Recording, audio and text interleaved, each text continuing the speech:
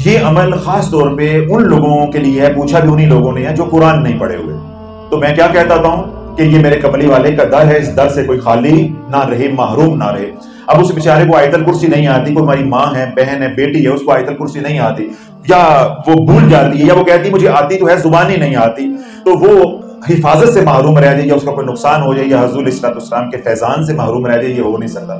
तो ये क्या है? अगर बच्चे स्कूल जा रहे हैं तो ग्यारह मरतबा, या हफीजू, या सलामू, अब लो आकर एक बार दुरुद पाक पढ़ के दम कर दे, इंशाल्लाह खैर से स्कूल जाएँगे, खैर से वापस आएँगे।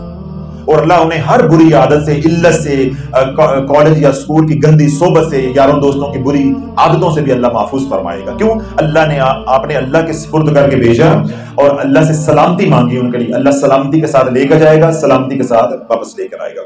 इसी तरह आपका घर है तो आप घर का तस्वर करके ग्यारह मरतबा या हाफिज या सलाम पढ़ के अल्लाह के सुपुर्द कर दो इन अज़ीज़ अल्लाह घर की हिफाजत फरमाएगा। दुकान है, उसके ऊपर इसका हसार करें, ग्यारह मरतबा पढ़ के या हाफिज या सलाम।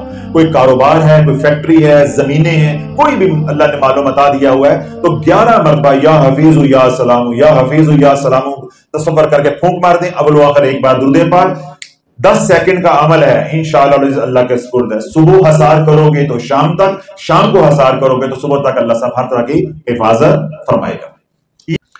वो हजरात जो कहते हैं, हम ख्वाब में डर जाते हैं।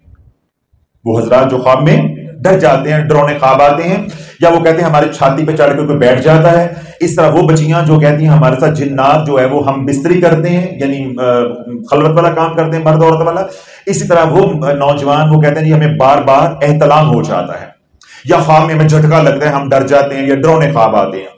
इस तरह के सारे मसले हों तो रात को सिर्फ़ ग्यारह मरतबा, या हफीज या सलाम पढ़ के, सो जाए। इन अल्लाह इन तमाम परेशानियों से महफूज फरमा देगा।